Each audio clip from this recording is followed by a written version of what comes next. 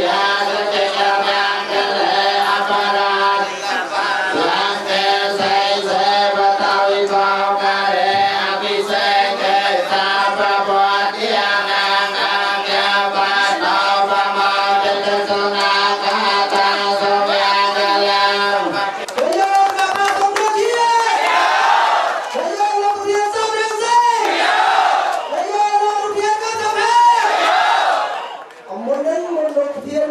ធានអញ្ជើញមកដល់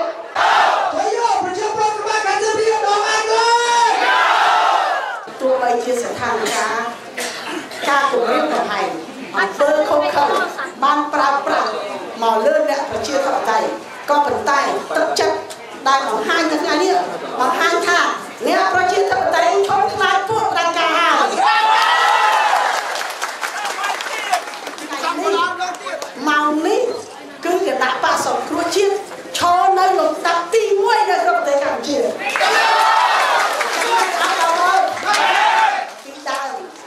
រំលឹកដល់ថ្ងៃនេះខ្ញុំស្រណោះទៅដល់បកក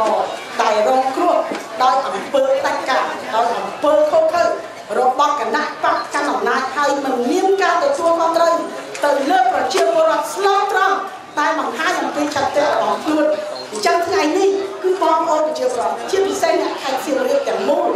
នឹងផ្សព្វផ្សាយព័ត៌មាននេះទៅដល់ប្រជាពលរដ្ឋទាំងអស់ហើយសារនេះបង្ហាញទៅប្រជាពលរដ្ឋទាំងអស់ថាយើងត្រូវក្រោកឡើងក្រោកឡើងដើម្បី ជាតិយើងដើម្បីលុបបំបាត់ណាផ្លាស់ប្ដូរអំណាចផ្ដាច់ការជាប្រវត្តិ